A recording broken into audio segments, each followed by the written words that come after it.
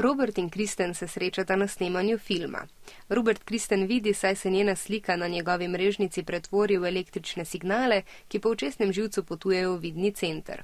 Prav tako Kristen Robertu diši. V možganih nastane cela vrsta kemičnih in električnih impulzov. Ti se zapišajo na posebno mesto v delu možganov, ki med drugim skrbi tudi za ljubezen, imenuje pa se limbični del možganov. Prav tako se impulzi zapišajo v jedri, ki ima rečemo amigdali. Ti impulzi v limbičnem delu možganov in v amigdalah poskrbijo, da se Robert počuti lepo, veselo, razmišlja o Kristin in celo načrtuje, kje bi jo lahko videl. In ko Robert ponovno sreča Kristin na avtobusni postaji, amigdali in limbični del možganov vplivajo tudi na njegov neodvisni živčni sistem. To je del živčevja, ki ga ne moremo zavestno nadzirati, zato mu takrat začne srce biti hitreje, roke se mu potijo zrdi in je zmeden.